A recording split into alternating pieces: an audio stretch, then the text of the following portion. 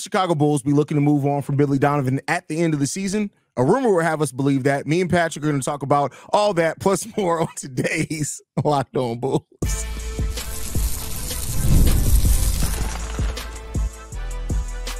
You are Locked On Bulls, your daily Chicago Bulls podcast, part of the Locked On Podcast Network, your team every day.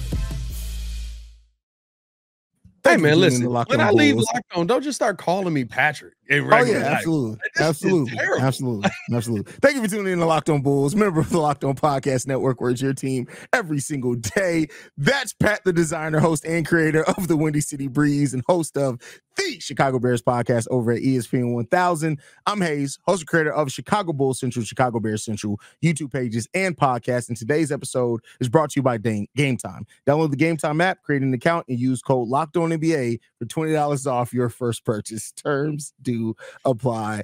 Pat, we're a little bit late on this, um, just because of circumstances, uh, but the, a couple of days ago, it got rumored uh, by Greg Schwartz, who wrote, um, you know, a blurb in an article that the Bulls could be looking to move on from uh, Billy Donovan for a younger coach that kind of prioritize player development, and Billy could want to move on and go to a team that's prioritizing winning. Now, it was initially kind of, if you read the aggregators, kind of presented as like a report it's more so Greg Schwartz kind of speculating on what the Bulls could do, but still, it leaves something to be to be talked about. Now, people are going to initially ask, well, Haize and Pat, why would the Bulls look to move on from Billy Donovan if they were when they have done that this offseason? And my initial thought to that question goes to well, maybe they don't want a new coach to come in and have to deal with the end of the Zach, Zach LaVine situation. That could be one. And then also, maybe the Bulls are looking to see how much of these young players do make a step or a leap. And if they can get back to contending for that playoff spot, whatever spot the Bulls feel, the Bulls front office feels like is worth it, then they could actually pivot and start saying, no, we're going to keep Billy Donovan. What do you think when you hear all this, Pat? I mean, listen, the, the, the, the tough part about it for me is as my dryer sings an entire song. I hate this Samsung dryer. We have, same, uh, we have the same dryer. The Samsung bro, dryer. Like, everybody has the same dryer, bro. Like, why was yeah. Samsung just like, bro? Hold on. We Not just, just sound, have it beat. a whole song, bro. But what if we drop this fire on their head after it's done? Like yeah, Samsung said, we're gonna drop bars on all of the other washing machines. um, no, the the the Billy Donovan situation to me, I, I think here's the thing they're not saying anything that we don't know.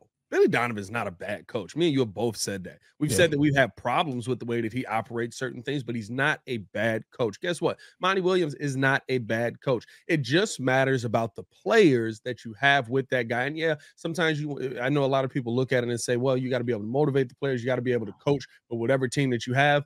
He's not that kind of coach because the coaches that can coach with whatever team you have are the great coaches, right? Doesn't matter what team you give Spo. Spo's gonna find a way to win, right? I, I think maybe we're starting to find out Steve Kerr uh, without Stephen Curry and those guys a little he's bit not one of those guys, a little bit lower on the totem yeah. pole than we thought, right? People were like top five all time, and I do think he's he's probably top top five all time. But like when when you look at when the talent is gone, what is Steve Kerr implementing, right? Gregg Popovich, when he had all of those guys, he was able to go through everything with it. Now they're bottoming out, so it's a little bit of a different situation. But I mean, he's been able to win with Tim Duncan in there, without Tim Duncan in there. He's been able to win with Manu in there, without Manu in there. So those are the coaches that can do it no matter what. Billy Donovan is not one of those guys. And it's not a slight to say Billy Donovan is a good coach, but he may not be the coach that this Bulls team needs if they're going to get into consistent winning. If you've got it, and guess what? When Billy Donovan, if he, the Bulls do end up moving on from him,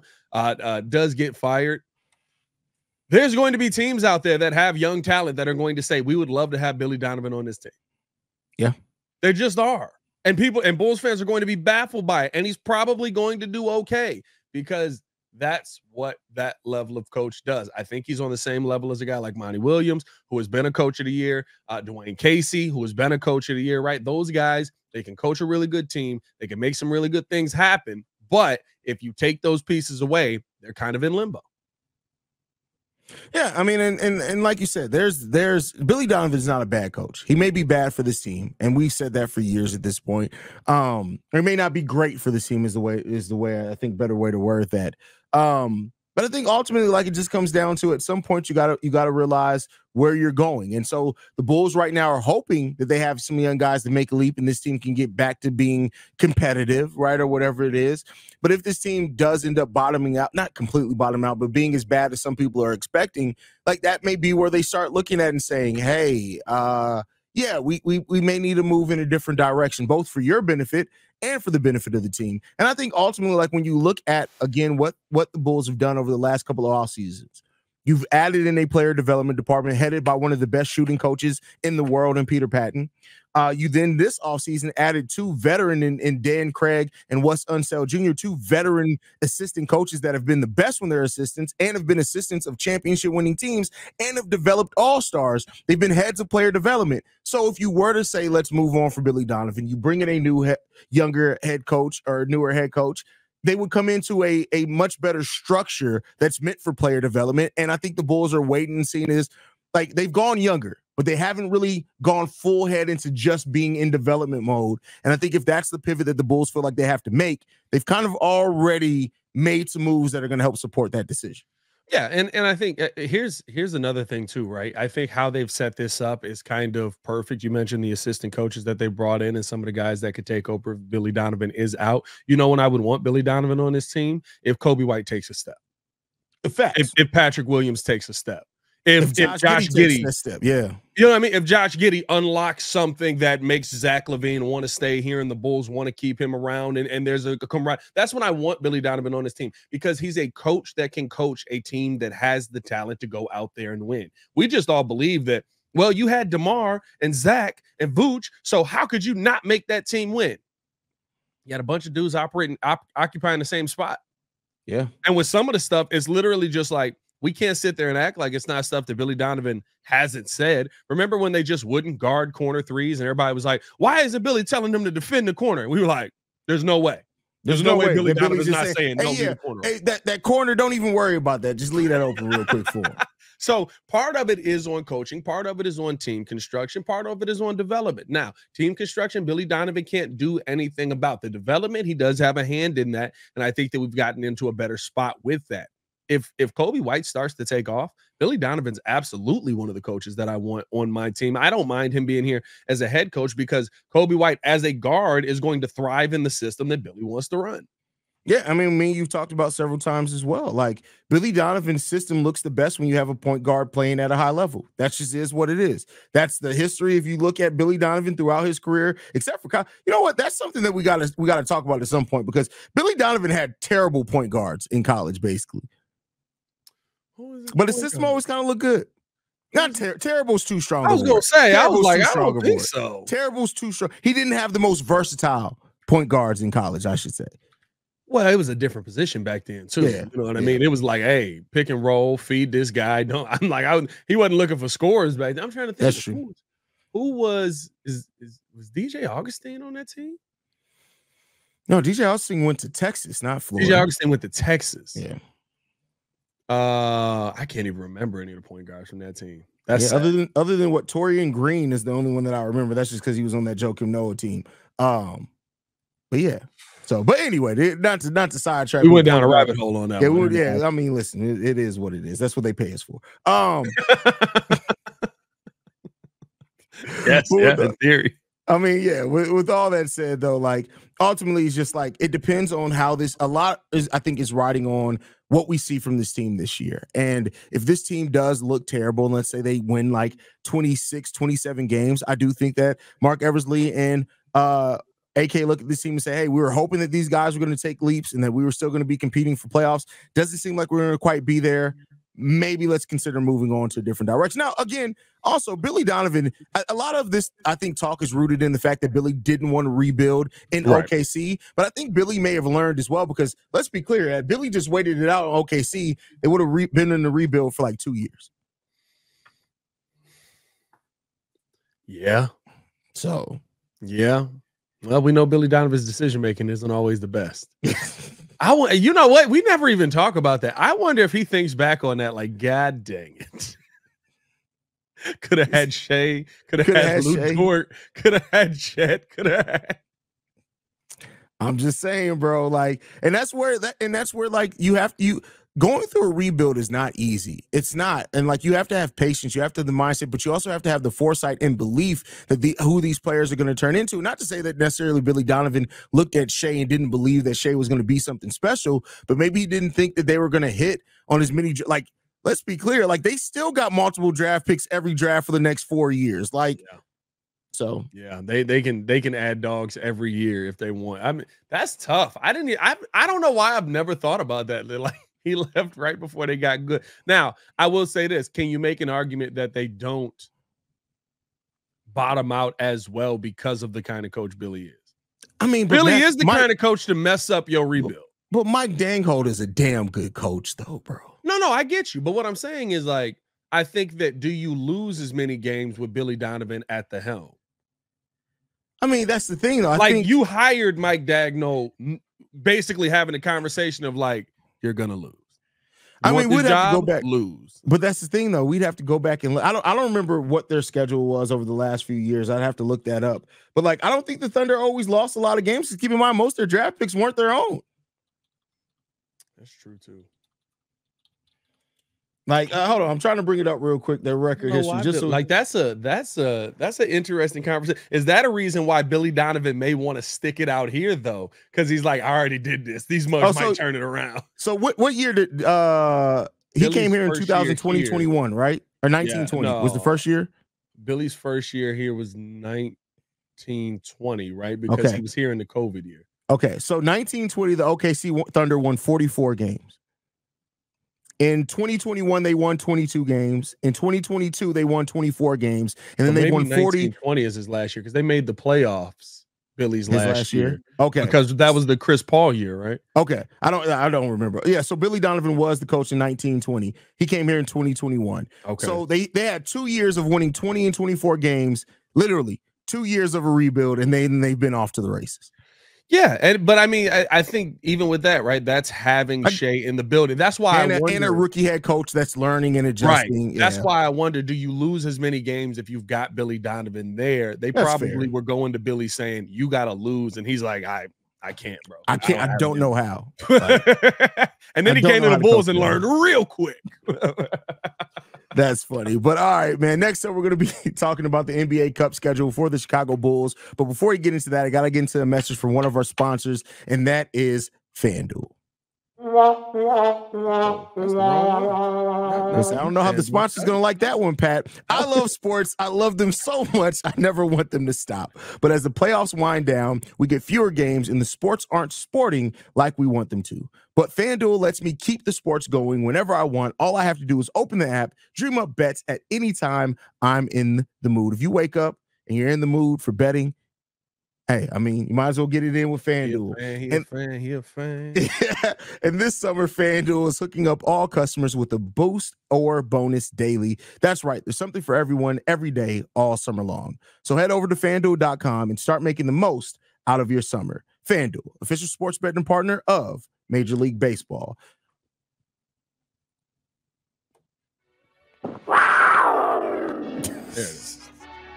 Every time. That is hilarious.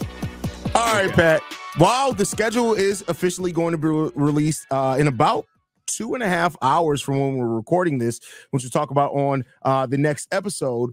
Uh, the the NBA Cup schedule for the Chicago Bulls has already been released, uh, as it has been for all teams. And the Bulls schedule in this one, we know that we have the Cleveland Cavaliers. We have we're in the same group as them, the Atlanta Hawks, some other teams like this. I actually think this group can be kind of a fun group to watch. There's a lot of potential storylines in this group when you look at it uh, when it's all said and done. But let's go over it. So November 15th against Boston, November 22nd against Atlanta, November 26th against Washington, and November 29th against Boston again.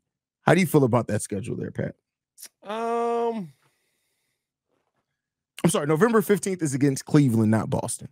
Listen, it's a tough schedule for the Bulls for sure. Um, the NBA Cup really doesn't do much for me because it's like the Bulls aren't going to really be able to compete. I guess if you get a hot streak, right? Maybe you go on a hot run and you're able to do a little something in that cup, but like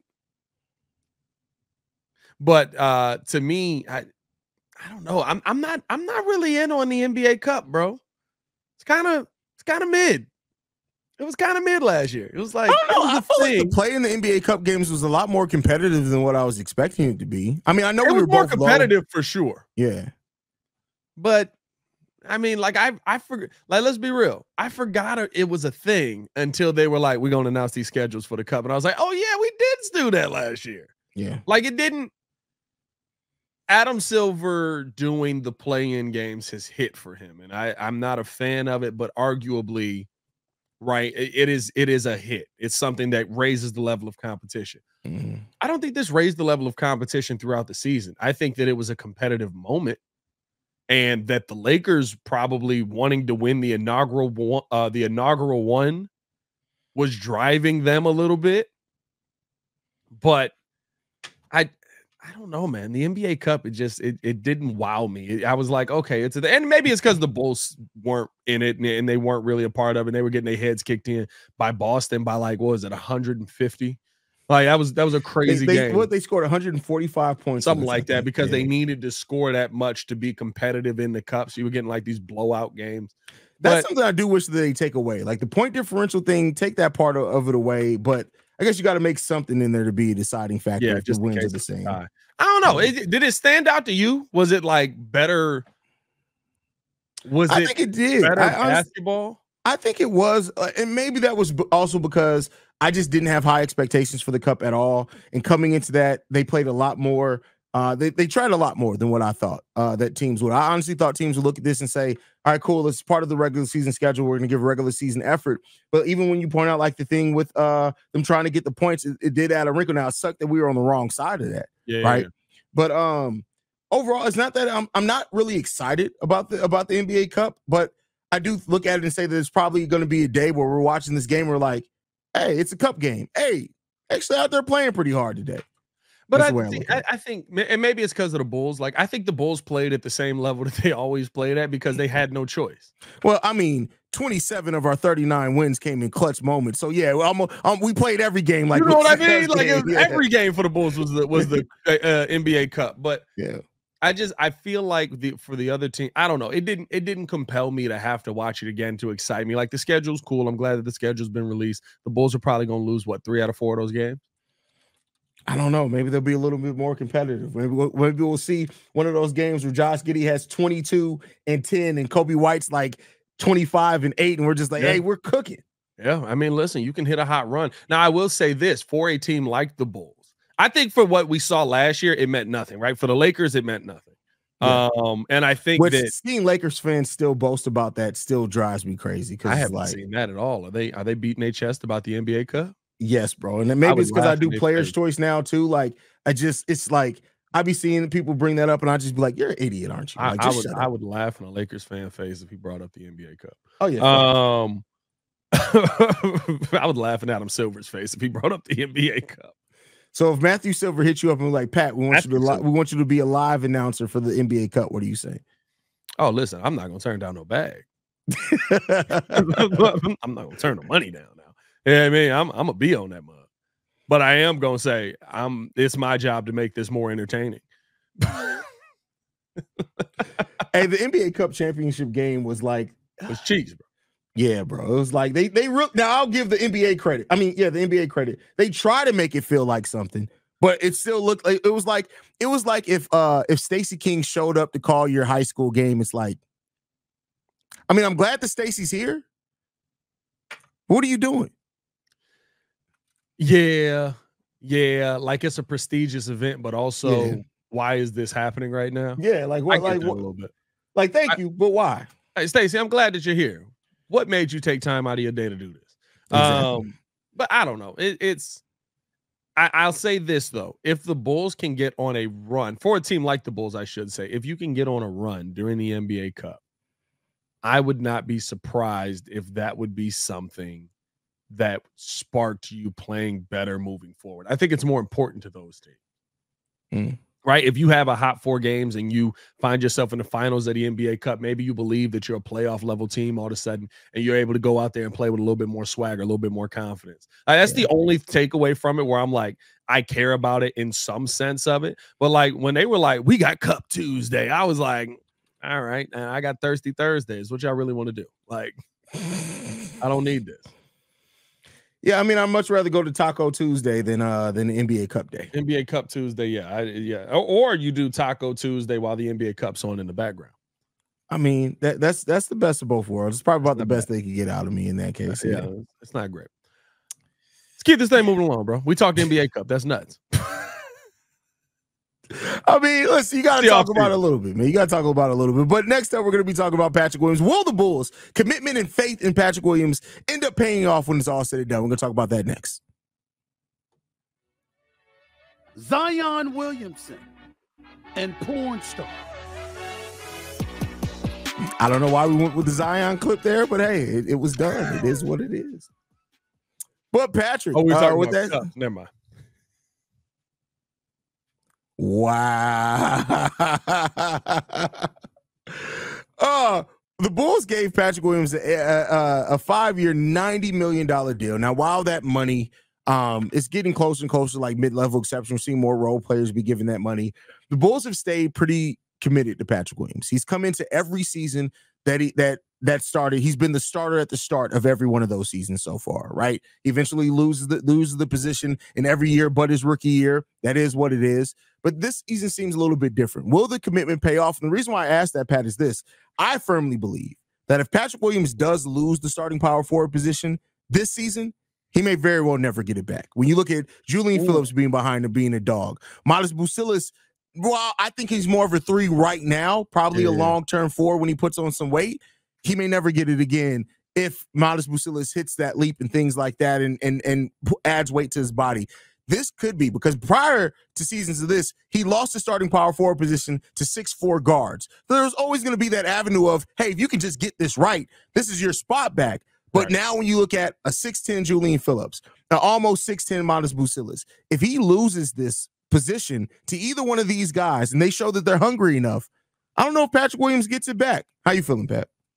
I mean, listen, I, I, think that they're they're looking for any opportunity to give Patrick Williams because they want him to be the answer. They want mm-hmm. him to, you know what I mean, to, to be the guy who's able to go out there and eh, and and take over that number four overall role. I know that we're done with the number four overall assumptions, but the Bulls are not. They're they're still trying to see more out of P. Will this season. I think that you know, with with that being said, I think they'll give him every opportunity. I don't think that if he lost his starting role, he would never be able to get it back. But I do think that the Bulls are kind of like, listen, we gave you a role player's contract for a reason. We gave you a while it's not no small money, but we gave yeah. you a comparatively small money deal for a reason because you haven't proven yourself to us. You still have time to prove yourself. We still want you to prove yourself. We still want you to be a part of this team. But at the end of the day, you have to go out there and actually take it. And you haven't wanted to do that yet. So to me, with Patrick Williams, I think that the the opportunities will always be there, very similar to like how we're still like, why is Velus Jones on the Bears?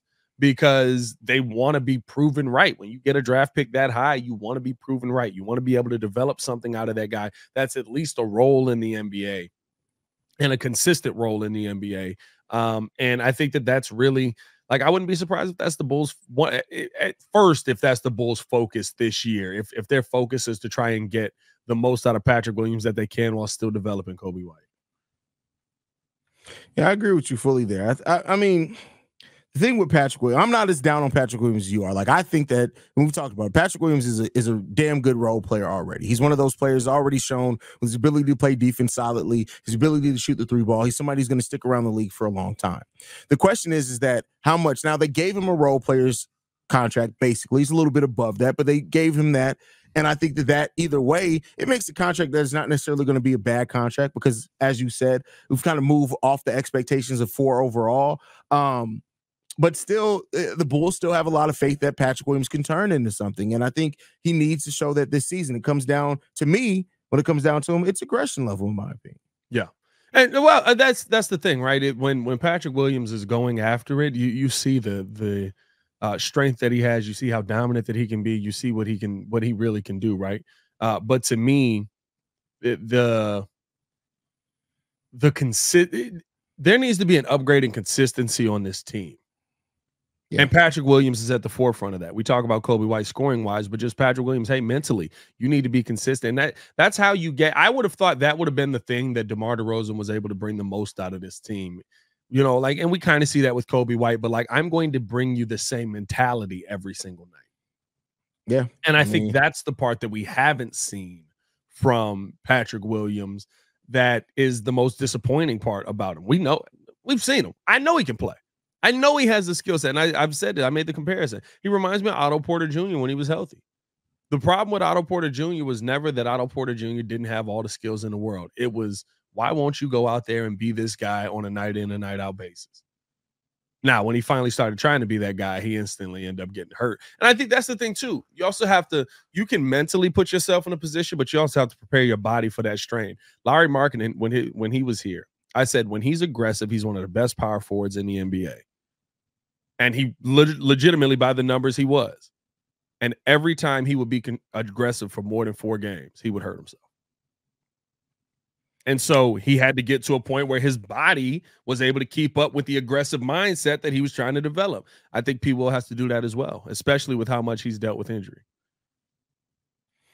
Yeah, I mean Patrick Williams has it's frustrating sometimes because sometimes you see those games from P. Will where like like the, the game that he has at the end of every season, like the Minnesota Timberwolves game a couple years ago, or the game that he had randomly in December, and you see it and you're just like, just do that. Yeah, you're not always gonna end up with 20 and 8, but just do that. Like, why why is it that we why is it that we only get that every once in a while from Patrick Williams? Like, and I know some people blame Billy Donovan for it or whatever. They say, oh, it's because he's playing the three, not the four. I mean, he's playing the four, not the three, or all that. But to me, it still just comes down to Patrick Williams' own aggression level, man. And I, like I said, I'm not ready to write the kid off yet. At 22 years old, uh, he's not at the point yet where I'd be ready to completely write him off. And I think, like I said before, he's shown enough to where he can be a player that can contribute in, in specific areas. But you just want more from that from P. Will. But I don't know if we ever get it, bro. I don't know, man. We'll see, man. We'll see what it ends up being. We'll see what this Bulls team ends up doing uh, with with him and and how they end up utilizing him uh, more this year. Hopefully, it's more, uh, more in a more aggressive role. But uh, Hey man, appreciate y'all for tuning in and showing love as always. Hit that like button, subscribe to the page, leave a five star review. Y'all know what to do. Follow me on everything at Pat the Designer. Follow us both on everything at Locked On Bulls. On God. you follow me at CEO Haize. I want to thank you guys for tuning in to another episode of Locked On Bulls. We are free and available on every podcasting app and platform of your choice, as well as YouTube. For Pat the Designer, I'm. This has been Locked On Bulls. We out here, y'all. Peace. Peace.